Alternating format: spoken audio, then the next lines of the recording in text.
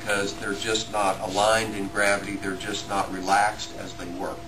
And so this becomes very important in doing massage to be able to, as much as possible, uh, relax and flow. I can show you how not to do this, which would involve what you see a lot of times with people is they have their feet uh, at the same, instead of being in sort of a lunge stance, they have their feet next to each other.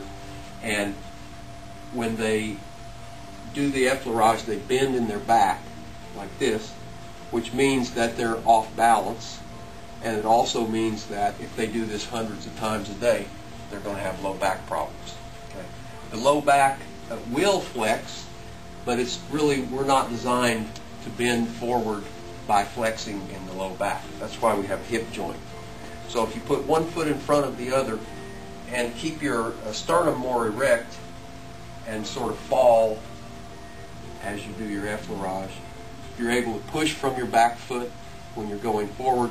You're able to push with your front foot when you're coming back so that you're now using your legs rather than using your back to do this work.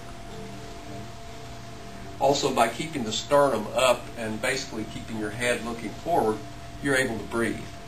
If you if you're caved over in this position working, you basically are crunching your uh, your diaphragm to where it really can't even descend, so you can take a decent breath.